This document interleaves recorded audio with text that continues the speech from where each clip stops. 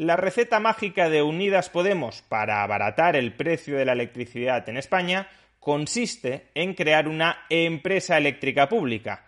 Pero ¿sería esta una medida eficaz para verdaderamente abaratar la factura de la luz que abonan los consumidores? Veámoslo. El precio medio de la electricidad en el mercado mayorista durante este pasado mes de agosto promedió los 100 euros el megavatio hora y desde Podemos siguen insistiendo en que la solución mágica para conseguir reducir este precio y por tanto abaratar la factura de la luz que tienen que abonar los consumidores pasa por crear una empresa pública. Sin embargo, esta propuesta no es más que un bluff que no conseguiría una rebaja significativa del precio de la electricidad que tienen que abonar los ciudadanos Recordemos que Podemos propone crear esta empresa pública a través de la reestatalización de aquellas concesiones de centrales hidroeléctricas que vayan venciendo a lo largo de los próximos años. Actualmente las centrales hidroeléctricas son explotadas por empresas privadas en régimen de concesión y esas concesiones van expirando, de manera que lo que plantea Podemos es, una vez expiren, que recupere su control el Estado. Dado que las centrales hidroeléctricas ya amortizadas tienen un coste de generación del megavatio hora muy barato, que puede rondar quizá los 5 euros el megavatio hora,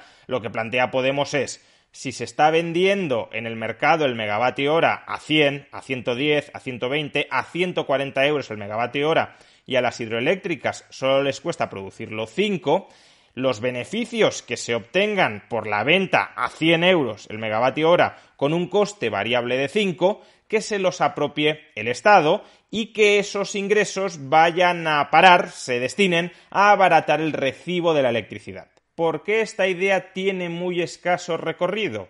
Pues por dos razones. La primera es que a lo largo de la próxima década, a lo largo de los próximos 10 años, de aquí al año 2030, apenas expirarán concesiones sobre centrales hidroeléctricas con una potencia instalada de 700 megavatios. Es decir, que en el año 2030 podríamos tener una empresa pública generadora de electricidad a través de centrales hidroeléctricas con una potencia instalada de 700 megavatios. Año 2030. El problema, el problema de los altos precios de la electricidad lo tenemos ahora quizá el año que viene, quizá incluso durante parte de 2023, pero desde luego no es un problema para el año 2030. Por consiguiente, es un debate que se está avivando ahora para remediar un problema acuciante ahora mismo, pero se le plantean soluciones a ese problema para dentro de una década. Las fechas no cuadran. Pero es que además, y en segundo lugar, imaginemos que fuéramos capaces de disponer de esos 700 megavatios de potencia instalada en concesiones a centrales hidroeléctricas que irán venciendo a lo largo de la próxima década de manera inmediata, ahora mismo.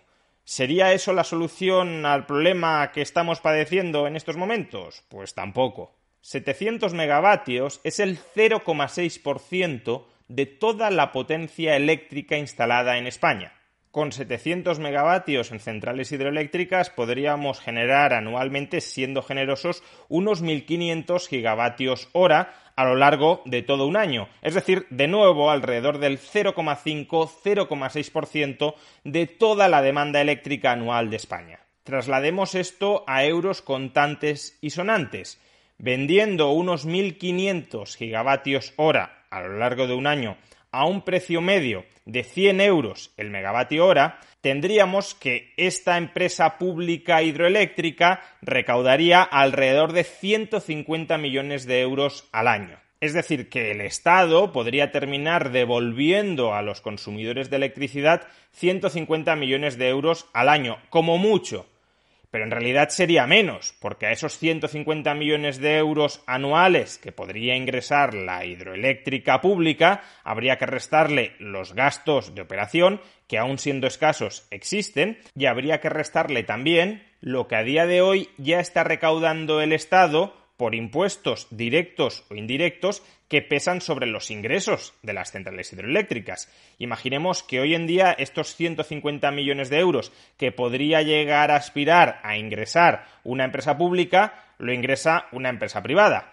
Pero sobre esos 150 millones de euros recaen una serie de impuestos que se los queda el Estado. Imaginemos que recaen 30 millones. Pues entonces el neto adicional que si se nacionaliza esa hidroeléctrica podría llegar a recaudar el Estado no son 150, son 120, porque 30 ya se los está quedando hoy a través de impuestos. Pues bien, si de los 150 millones de euros en ingresos eliminamos los gastos operativos y los impuestos que directa o indirectamente recaen sobre las hidroeléctricas, me estoy refiriendo al impuesto sobre la generación eléctrica, que si bien ahora está temporalmente suspendido, se va a volver a implantar, me estoy refiriendo al canon hidráulico y me estoy refiriendo también al nuevo impuesto que ya ha aprobado el Estado y que va a recaer sobre las hidroeléctricas y las nucleares para eliminar los beneficios que obtienen estas compañías por el encarecimiento del precio derivado de los derechos de emisión de CO2.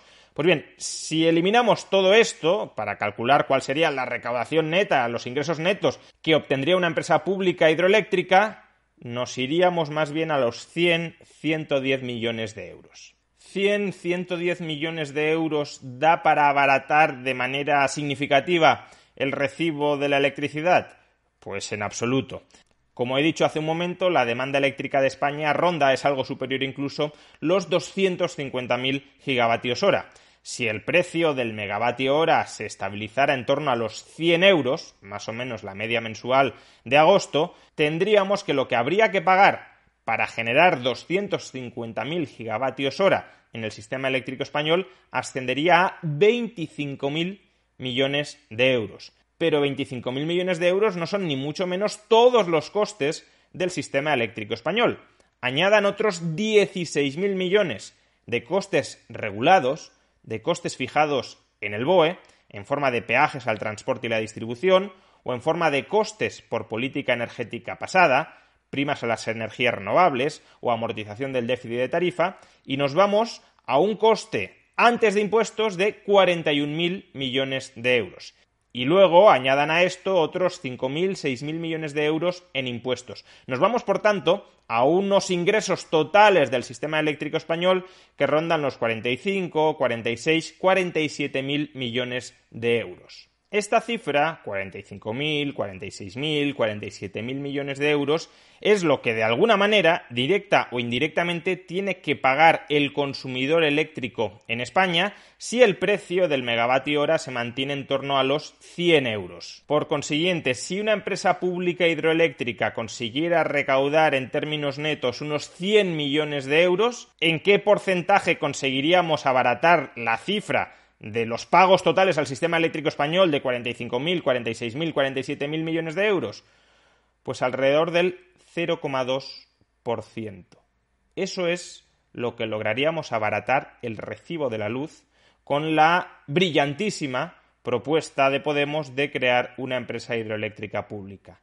0,2%. Pero es que aunque incluyéramos en esa empresa hidroeléctrica pública todas las centrales hidroeléctricas del país, algo que no podríamos hacer sin expropiarlas y por tanto sin indemnizar a las empresas eléctricas que han comprado esas centrales hidroeléctricas, pero en todo caso, olvidémonos de la indemnización debida, aun cuando en una empresa pública concentráramos todas las hidroeléctricas del país, los ingresos netos que podrían lograr con un precio del megavatio hora a 100 euros y ya deduciendo todos los otros pagos que esas hidroeléctricas están realizando a día de hoy en forma de impuestos directos o indirectos sobre la generación eléctrica, tendríamos que esa empresa pública hidroeléctrica, adoptando supuestos bastante generosos en términos de generación eléctrica anual, podría llegar a ingresar, ya digo, en términos netos, alrededor de 2.000 millones de euros. Unas cifras, desde luego, bastante más apreciables que la anterior.